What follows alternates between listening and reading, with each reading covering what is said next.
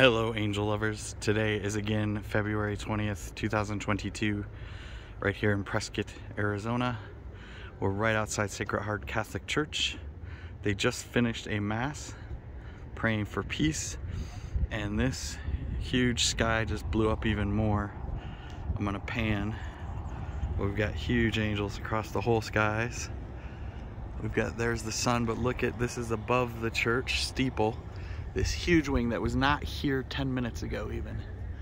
So if you ever have any doubts about their ability to appear from other dimensions, this video should hopefully quash those. But look here, I'm gonna pan, look at, here's a face right here, look at that.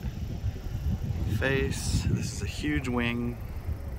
There's another face. Incredible. Um, and then way over here, We've got this huge system over here. There's the face in the middle. These two wings are stretched out. I will pan, I'll walk over. You see how far those wings go.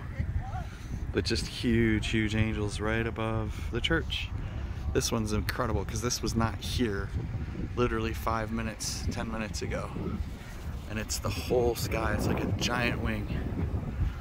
Definitely not a cloud because it wasn't here 10 minutes ago joy, peace, love, hope for the world. Beautiful.